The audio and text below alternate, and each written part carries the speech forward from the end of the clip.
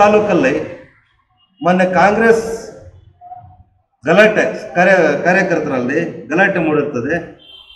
ಆ ಗಲಾಟೆಯಲ್ಲಿ K H ಮುನಿಯಪ್ಪನವರಿಗೆ ಯಾವುದೇ ರೀತಿ ಪಾತ್ರ ಇರೋದಿಲ್ಲ ಇಲ್ಲಿ.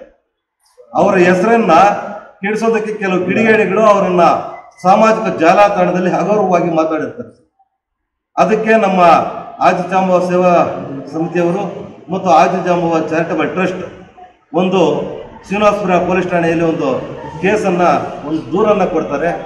ಆ ದೂರನ್ನು ಕೊಟ್ಟಾಗ ಅವರು ಸ್ವೀಕರಿಸಿ ನಾನು ಅರೆಸ್ಟ್ ಮಾಡ್ತಾನೆ ಅಂತ ಹೇಳಿರ್ತಾರೆ. ಆದರೆ ಇದುವರೆಗೂ ಅರೆಸ್ಟ್ ಮಾಡಿರೋದಿಲ್ಲ ಅವರನ್ನು.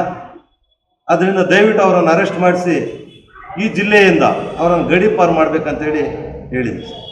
ಕೆ ಎಚ್ ಮುನಿಯಪ್ಪ ಅವರನ್ನು ಮುಗಿಸ್ಬೇಕಂತಿರೋದು. ಯಾವತ್ತಿಗೂ ಅವ್ರು ಮುಗಿಸೋಕೆ ಸಾಧ್ಯ ಅವರು ಅವರನ್ನು ಮುಗಿಸೋ ಪ್ರಯತ್ನ ಅವ್ರು ಮಾಡ್ತಾ ಇದ್ದಾರೆ. ಅವರ ಅಭಿಮಾನಿಗಳು ಉಳಿಸ್ಕೊಳ್ಳೋ ಪ್ರಯತ್ನ ಮಾಡ್ತಾ ಇದ್ದಾರೆ.